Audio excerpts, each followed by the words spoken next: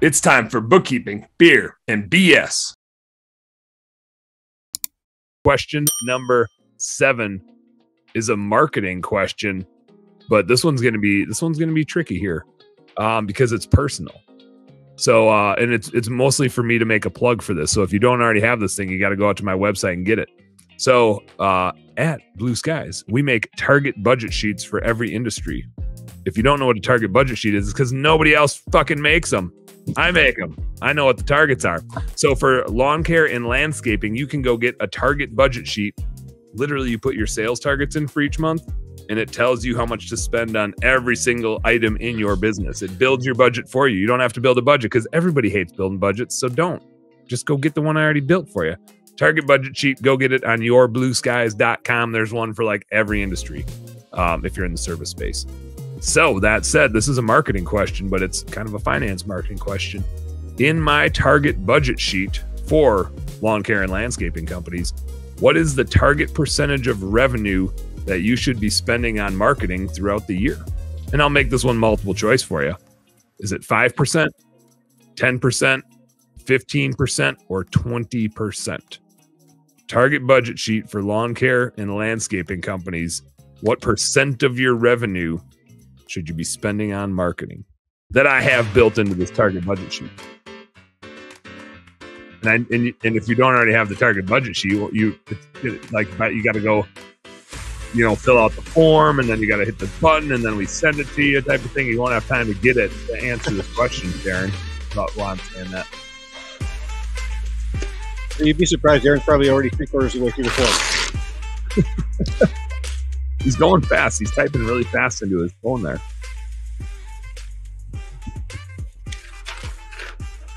You might just be ordering dinner. You never know. Hashtag hashtag go get your budget sheet is what I'm saying. I was I was rudely interrupted by uh, Kitty Cat. So my apologies.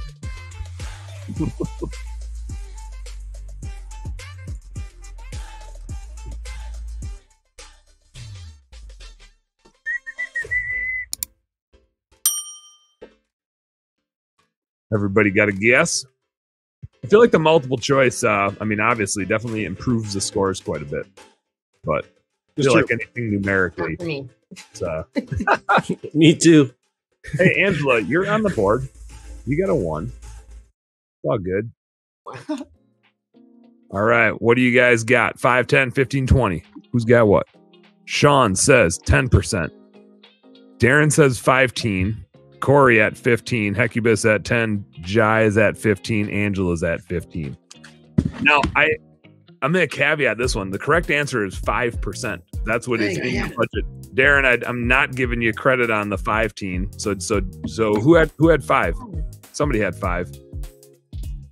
Somebody had five. I think anybody did. no.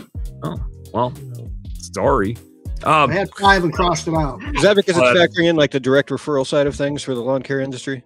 Yeah, yeah. You, know, you, just, you just made me feel really well, really good. By the way, thank you very much for saying that so so you've got um not now I'll caveat that by saying like marketing doesn't really have a target. It's more about your acquisition cost, right? If if you are marketing and it's converting, spend 20% on marketing, right? It's an investment over time. I'll say on average, I tend to see lawn care and landscaping companies between 5 and 10. Depends on how fast you want to grow. If you want to grow like gangbusters, 10, 15, 20, go for it. Just make sure it's converting, right? As you get to more of a steady state growth phase, where you've you've kind of like ran up that curve, it tends to be that most of your customers are repeat customers and recurring customers. Less of them are new customers, so it does start to shrink your marketing budget. So, you're trying to say that we all got the answer right.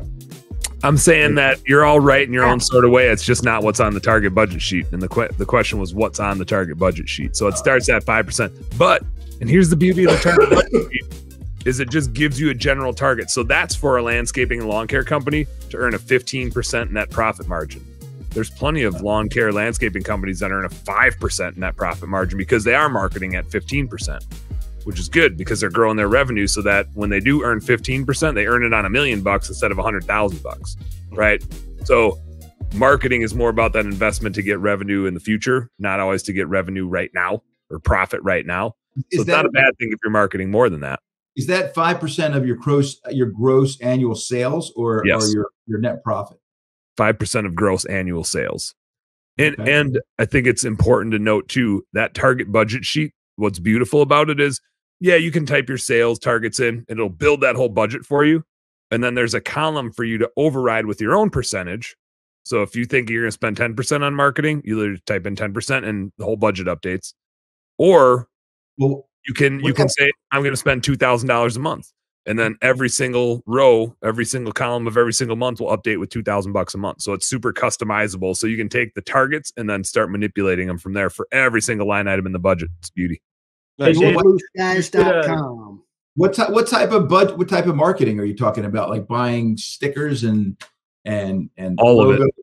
all of it google everything? ads facebook ads paying somebody to run your ads yard signs stickers whatever radio ads anything that you're doing that's client acquisition related Okay. goes into marketing all together, and the, the total is five percent. All in there corey what do you got I was just gonna say you should give yourself a uh, a host point because that was a hell of an efficient and productive plug. Very very Beauty. well done. Beauty. Very well. I'm I'm se- I'm serious. That's if I was gonna sell that sheet, it, I'd sell it for a thousand bucks. I mean, I I built it. I mean, I built it over the last ten years, right, of doing Right. bookkeeping for all these different companies. It literally like it's a budget sheet, and it goes. One thing I hate about most budget sheets is you like go get somebody's budget sheet, and it's a one year budget, which I I had the same thing. But a budget is like you use last year to build next year, which builds the next year. Like a budget sheet should be should be into perpetuity. This one, if you go get it, it goes for three years, and then you can add a fourth year, add a fifth year. So you don't need to go get a new budget sheet every year. You get this one, and you keep adding data to it, which makes you better at budgeting the next year. So every year you can change your inputs. Dan, Well- I would buy it from you for a thousand dollars, and I don't even own a small business. So well done. Well, Dana, your your wife is an accountant, and she probably would love it. She'd be like, oh, Right. "Oh, sweet! I'm gonna build. I'm gonna run our family budget in this thing." Yeah. Just see what things. You should up. get her one for Christmas. Be like, Dana, I got, I got you this budget sheet for Christmas. Dan said you'd love it. Oh yeah, yeah, yeah. I can see it now. There is, and and if you're not in one of the target industries out there, there's also just a generic template that anybody can get and manipulate. It doesn't have to be specific to one of our home service industries. So you can go get it for your wife and give it to her for uh, Christmas. She's gonna love it. You're gonna love that budget sheet. All right. Enough about my silly target budget sheets, but seriously, go get them. They're freaking badass. Hey, what's up, business nerd? Thank you so much for tuning in. I hope you learned a heck of a lot watching that episode. Do me a favor, subscribe right down here. And if you really like what you saw, you got more goods right here. Check out this one or check out this one and do this. Go subscribe. Appreciate you. Work smarter, work harder, go earn yourself some pride. Catch you on the next one.